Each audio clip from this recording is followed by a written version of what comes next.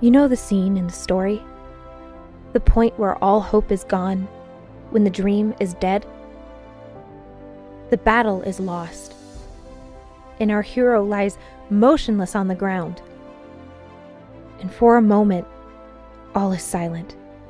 We are numb with fear, overcome with despair. The enemy is closing in, and there is no way out, no escape, no hope left.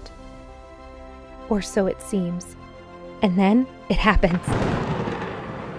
Someone shouts and points, and we all stand still, watching but not believing. A flicker of eyelids, a shudder of fingers, a rise of the chest. The impossible has happened. Our hero rises. Death is defeated. The tide has turned. This is not the stuff of legend. This is the story of God. And because He lives, all things are made new.